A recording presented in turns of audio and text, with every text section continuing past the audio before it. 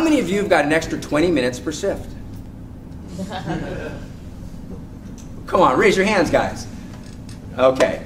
Maybe a good action idea might be I'm going to commit myself this year to learning one new technique per shift, devoting 20 minutes per shift to evolving my craft. I know I'm slammed, I'm very, very busy, so maybe 20 minutes per weekday shift, because I'm just too busy on the weekends. Or however, whatever your promise is, but go to your action ideas. If you're going to make the promise, go to your action ideas page and write that in. I'm going to learn, I'm going to devote 30 minutes per shift to becoming a better salesperson.